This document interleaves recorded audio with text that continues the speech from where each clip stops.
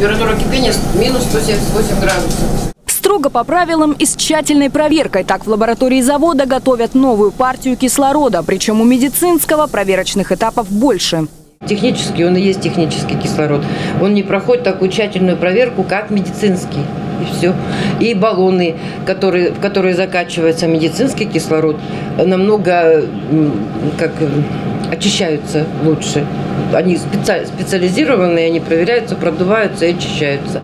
Месяц назад на заводе запустили новую производственную линию, которую собрали сами. Несмотря на хорошее техническое состояние оборудования, установки пришлось дорабатывать, автоматизировать. Проблемы в первую очередь были в отсутствии квалифицированного персонала по монтажу. По киповской части проблемы у нас не возникало. И полное отсутствие запчастей. Но я думаю, что мы успешно преодолели эту проблему. И можно сказать, что вышли на финальный, финальный рубеж и находимся в процессе пусконаладки, получили первый продукт.